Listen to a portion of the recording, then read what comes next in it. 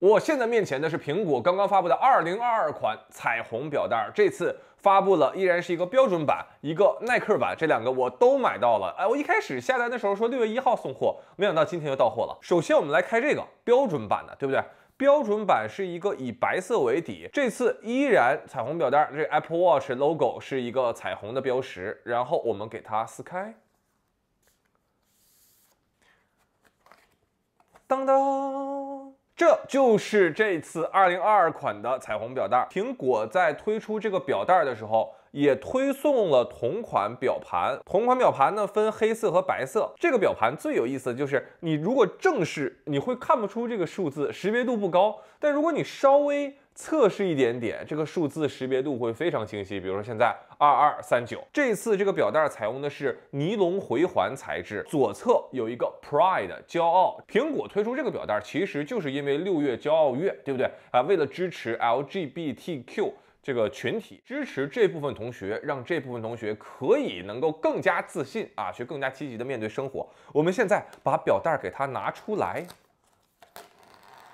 尼龙回环是我夏天非常喜欢佩戴的一个表带。首先，这种材质它日常佩戴非常的透气，同时呃非常柔软舒适。佩戴这块手表的时候几乎无感，就是它和皮肤贴合的程度非常出色。Pride 这个字样也是和1984年苹果第一次发布 Macintosh，也就是现在 Mac 电脑前身的那个 Macintosh，那个 Hello。对吧？Hello，那个字体相同。如果你的尼龙回环脏了，其实拿那牙刷之类的小刷子给它一顿刷就可以刷干净，然后吹干就好了。大家可以看一下，哦，这个好白啊，哦，好好好看啊。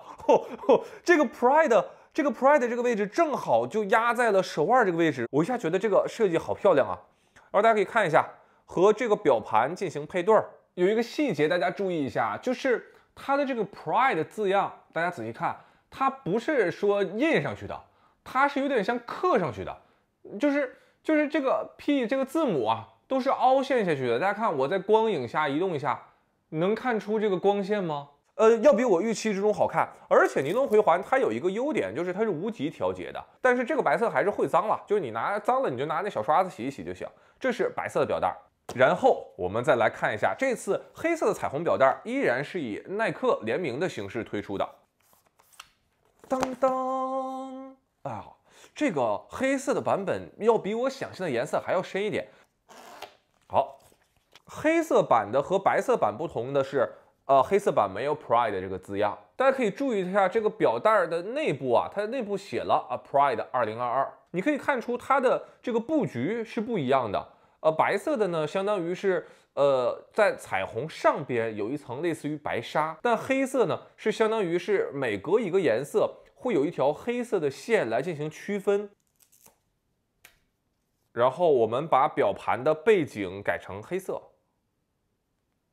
黑色呢，它比较百搭，就可能你在穿呃其他的服装的时候，它可能都比较合适。我现在因为这个 Pride 字样实在是太好看了，所以我现在的整体的倾向性。已经倾向到这这条表带上了啊！我相信也有很多同学比较关注这个呃黑钢表盘或者是深色表盘佩戴这两款表带是大概什么效果？这个大概就是黑色不锈钢配呃黑色表带，一体性很强，尤其是黑色的这个不锈钢边框和黑色的最外圈这个表带有一个很好的融合。这个是黑色不锈钢边框的表盘配白色的表带，我觉得就没有白色不锈钢的那个好看。好了，以上呢就是我们对二零二二版啊 Pride 彩虹表带进行的一个上手体验。呃，这两个表带售价都是三百多块钱，要比去年那个编织表带便宜。而且因为采用了一个呃非常耐用或实用度非常高的尼龙回环，所以我的推荐程度还是蛮高的。因为表带这个东西。